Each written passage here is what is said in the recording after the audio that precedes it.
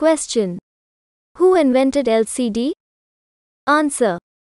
George H. Heilmeyer invented LCD in 1968.